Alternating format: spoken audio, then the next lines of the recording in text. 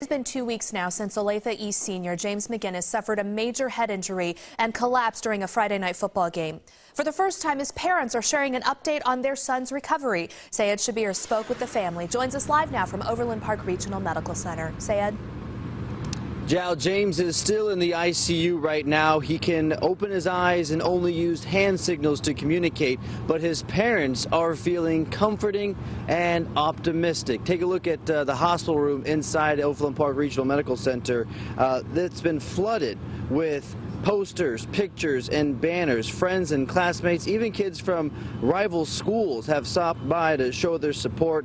His parents say there are kids visiting all the time. In fact, each night there's at least 20 kids offering their prayers and support. I spoke to his dad, Patrick, who said there was a breakthrough moment earlier this week.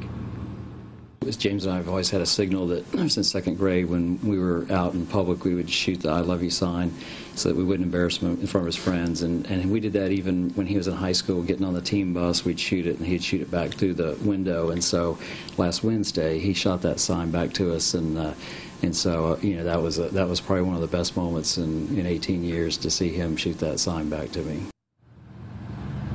And Patrick said he is sending that I love you signal to the rest of his friends and family who have been sending their support to him.